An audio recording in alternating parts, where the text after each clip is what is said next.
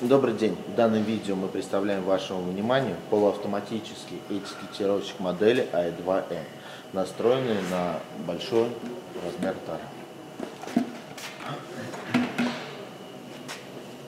Включили, опустили, педаль нажали.